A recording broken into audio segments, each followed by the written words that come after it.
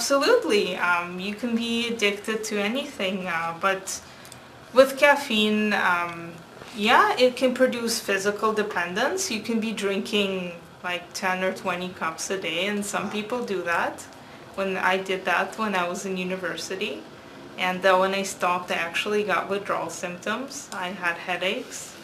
I couldn't sleep, even though um, caffeine kept me up. It's weird. I couldn't sleep and I was craving it all the time. So yeah, it can be addictive. It can be dependence producing. It's not as addictive as let's say heroin. You're not going to be, um, you know, spending all your money trying to get caffeine. Maybe that's not going to happen, but there is there is a possibility to get addicted for sure. If you or a loved one are looking for help with substance abuse, call our 24-7 helpline at 1-800-615-1067. A caring addiction advisor is awaiting your call.